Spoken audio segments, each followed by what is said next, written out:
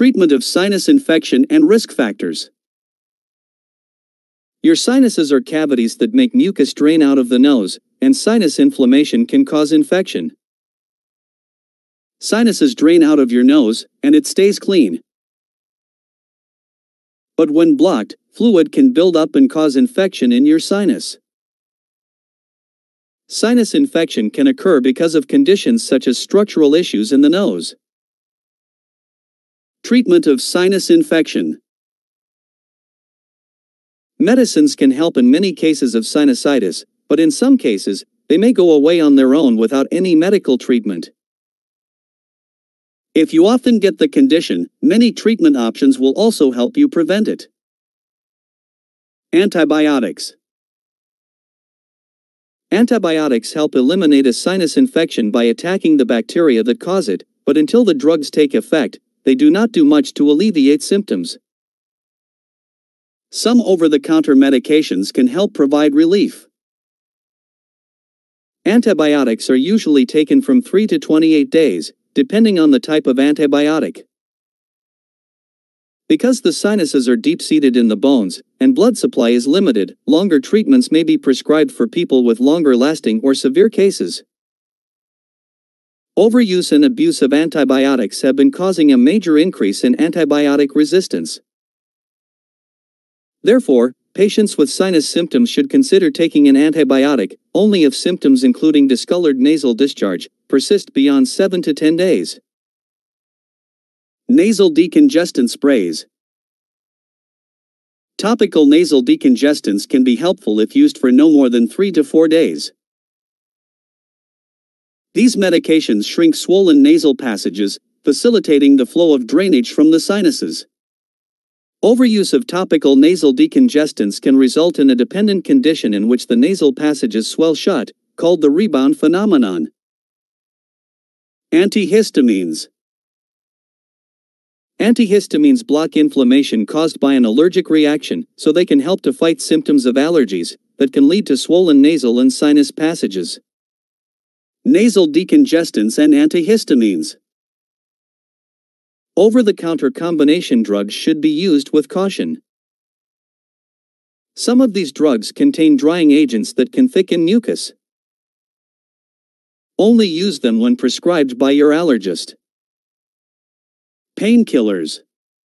Many people with sinusitis take over-the-counter pain medicines, like ibuprofen or acetaminophen, to ease discomfort. Steroids.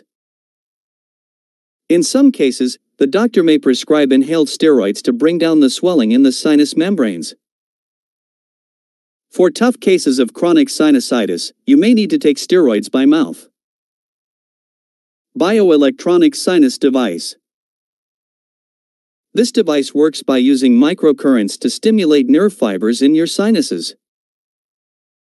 Over the counter, it helps reduce sinus inflammation, pain, and congestion. Topical nasal corticosteroids.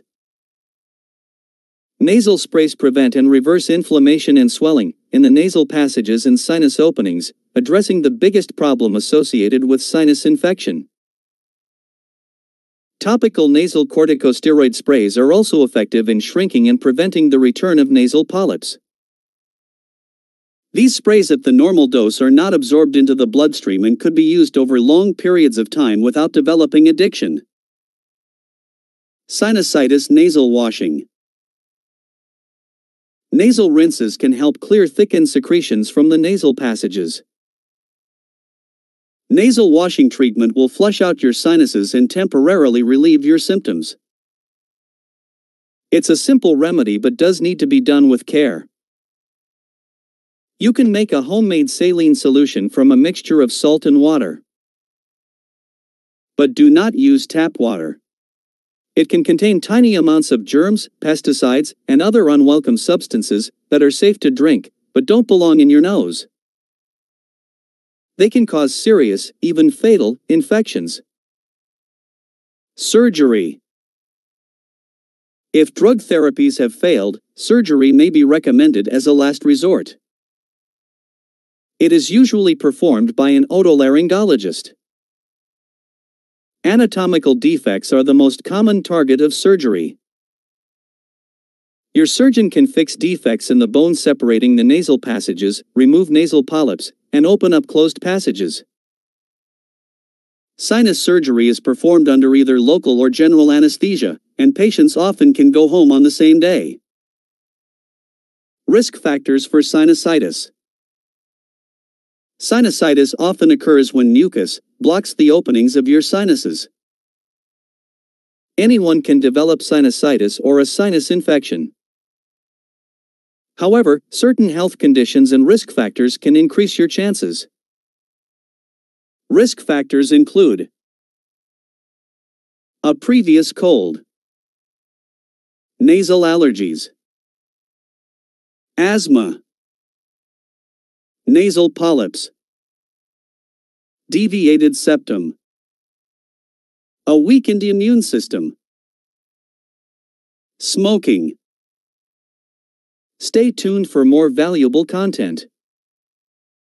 Subscribe to SF Healthcare for more information about sinuses.